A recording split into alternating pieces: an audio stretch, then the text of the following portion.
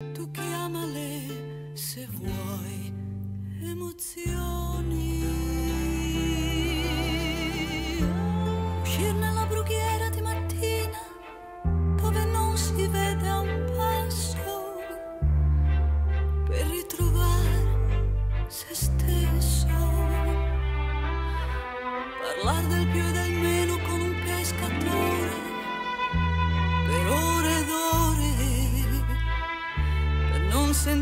Che dentro qualcosa muore.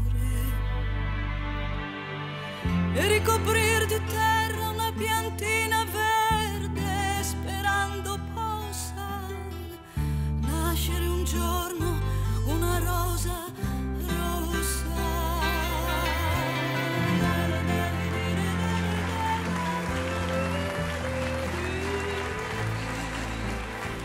Quando, quando entrerò in quella piazza a Firenze mi tremeranno le gambe, ma avrò un fiore rosso all'occhiello. Più grande della paura di non trovarci nessuno sarà la paura di trovarci tutti. Forse gli uomini di spettacolo cercano l'amore del pubblico per riparare le ferite di una infanzia difficile, ma io non so niente dell'infanzia di Beppe Grillo e ho sempre pensato che quando ha lasciato i teatri per riempire le, le piazze lo ha fatto con uno slancio di grande generosità. La politica allora era come pietrificata e Grillo mi sembrava proprio uno tsunami necessario per spingere la politica a cambiare.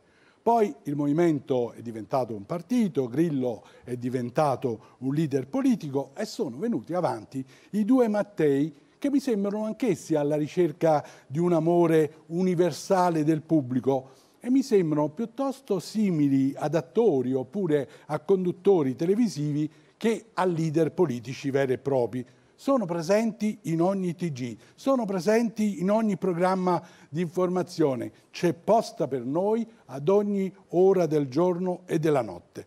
Renzi, allacciatevi le cinture, stiamo decollando. Salvini, allacciatevi le cinture, stiamo precipitando. E quando lo trovano questi il tempo per studiare le soluzioni ai problemi, visto che sono sempre in televisione, di fronte a questo spettacolo di felpe, tute mimetiche, videogiochi, non solo io penso che inorridiscano dall'aldilà De Gasperi, Togliatti, Nenni, Berlinguer, ma inorridiscono pure Giulio Andreotti, Craxi, Cossiga. La maggioranza degli italiani invece se ne frega, cambia canale e, e, e purtroppo lascia in piedi una domanda la vostra che cos'è? Una protesta oppure una fuga? Perché nel frattempo Matteo Salvini, con la sola accortezza di cambiare qualche felpa, ogni tanto parla il lunedì a porta a porta e un pochino a Piazza Pulita, il martedì contemporaneamente a Ballarò e da Frolis e in tutti gli speciali del dopo elezioni contemporaneamente. Perché non provoca un rifiuto Salvini? Perché dice cose che il pubblico vuole sentirsi dire. E qual è il primo problema in Italia? Prima erano gli extracomunitari, adesso sono i Rom. Quindi risolviamo il problema dei Rom e l'Italia, allacciate di nuovo le cinture di sicurezza, con la destra tornerà unita e decollerà. Perfino Adriano Celentano ha trovato simpatiche queste uscite di Salvini si è indignato per quella macchina che a Roma uccide una filippina, rischia di fare una strage ed è guidata, guarda caso, da un rom. Adesso i garantisti del giornale urlano perché è stato scarcerato il giovane che non guidava. Caro Celentano, tu ci hai abituato a prendere delle volte le posizioni controcorrente, questa volta mi sembra che cerchi un consenso facile facile So che non serve ricordarti che ogni giorno in Italia vengono straziati giovani, vecchie e intere famiglie da tir, da bassi impazziti, da automobilisti ubriachi o incocainati e praticamente non succede niente, anche se hanno la cittadinanza italiana. E i politici tacciono indifferenti a questo problema. I giornali titolano sui Rom, ma sugli scandali, la corruzione, sulla mancata selezione della classe dirigente, su mafia capitale, scarsi approfondimenti, anche perché se si approfondisse si scoprirebbe che i soldi si sono fatti rubando sulle spalle dei nomadi e sulle spalle degli extracomunitari. Naturalmente quelli che vivono accanto a un campo nomade sovraffollato e in condizioni igieniche spaventose hanno tutto il diritto di urlare e di urlare quanto gli pare, ma gli altri mi piacerebbe sapere come intendono risolverlo questo problema degli zingari. Se con le case no, perché vengono prima gli italiani. Se con il lavoro no, perché vengono prima gli italiani.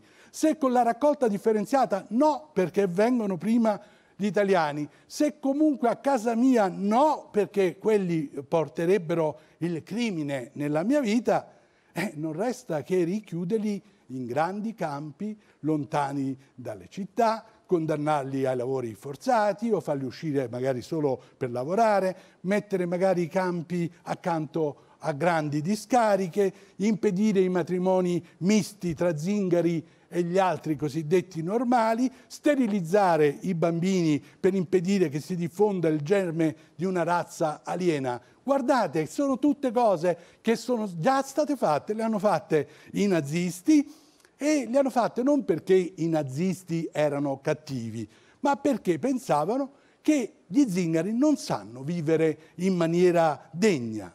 Dunque, siccome non sanno vivere in maniera degna, il valore della loro vita è uguale a zero. Anzi, se togli di mezzo uno zingaro, cresce il valore della vita sociale, della vita collettiva, per cui c'è una sola soluzione finale, distruggere completamente gli zingari. Ma caro Adriano, a parte la storia, sai e sapete voi per quale ragione gli zingari sono necessari ed è necessario difenderli? Perché gli zingari rappresentano il viaggio, la, la, fantasia, la danza, la creatività, la musica che nasce spontaneamente senza spartito, la favola che si tramanda di bocca in bocca, senza scrittura, rappresentano il rifiuto del lavoro e del denaro come costrizione dentro regole produttive rigide. Allora mettiamoli in galera quando delinquono gli zingari, senza pietismi, senza buonismi, ma applicando una legge che deve essere uguale per tutti, ma eliminarli no, perché eliminandoli noi elimineremmo prima di tutto lo zingaro che è dentro ciascuno di noi, quella sana inquietudine che ci spinge a cercare altre mete, altri orizzonti, altre avventure più affascinanti. Perciò, se gli zingari vi fanno veramente schifo, non venite in quella piazza a Firenze, perché quella sera io zingaro sarò e in futuro lo sarò anche di più.